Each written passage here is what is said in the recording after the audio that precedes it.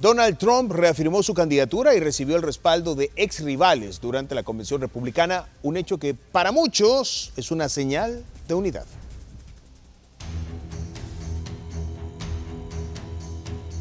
El candidato a la presidencia de Estados Unidos, Donald Trump, sumó como aliados a sus ex rivales republicanos como un mensaje de respaldo tras el atentado en su contra el pasado 13 de julio. Nikki Haley y Ron DeSantis cerraron filas el martes en torno a la candidatura presidencial del empresario, sobreviviente de un intento de asesinato y llamaron a la unidad partidaria.